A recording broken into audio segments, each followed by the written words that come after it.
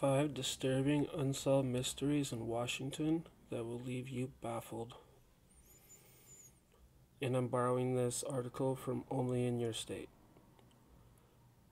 Unsolved mysteries are always unsettling, but it's especially scary when you hear about the cases that are close to home.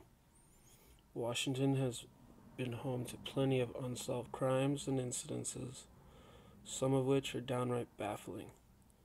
These five unsolved Washington cases remain a mystery to this day.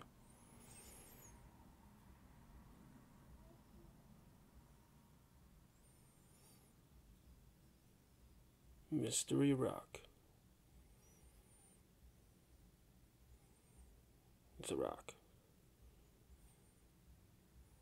In 1988, a 13 year old boy, Trevor Johnson, and his friend Jamie found a bizarre rock in the woods of northern Washington, close to the Canadian border. The rock was covered in cryptic alien like drawings. Trevor took it home and showed his parents. Soon after, the Johnson family experienced a sudden stroke of good luck. They became very wealthy and credited the mystery rock. Number two, Cowboy Bandit. Since 1987, an anonymous man has managed to rob at least nine banks in the Spokane area, getting away with over $400,000. His photo was once captured on a security camera earning him the nickname the Cowboy Bandit. But even with a photograph and many witnesses, police have been unable to identify him. Number three, the Oakville Blobs. In August of 1994, rain began to fall in Oakville, Washington. But it wasn't water, it was a strange gelatinous substance that would end up falling from the sky six times over a three week period.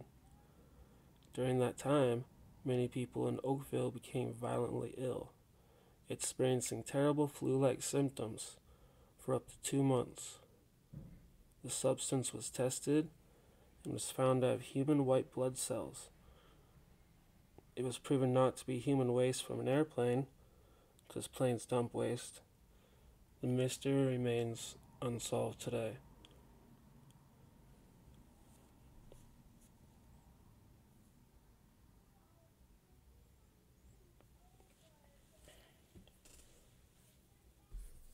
The disappearance of Julie Ann Weflen. On September 16, 1987, Julianne Ann Weflen vanished from her work at Bonneville Power Administration in Spokane County. Her personal items were found near her truck later that day. Police believed she was abducted and murdered, but her body has never been found, and there are no suspects in the case.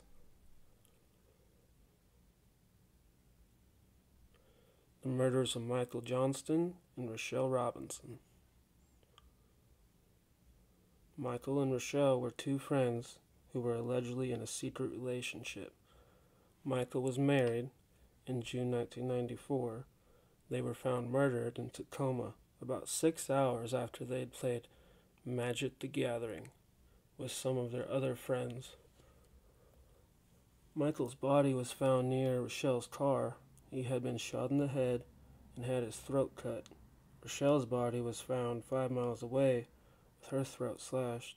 She was wearing Michael's t shirt Police think a jealous lover interrupted a tryst in the car, and friends say Rochelle had complained of a stalker for months. But some believe they were murdered over Michael's involvement in black magic and the occult. And that's five stories from Washington, and I borrowed this article from Only in Your State.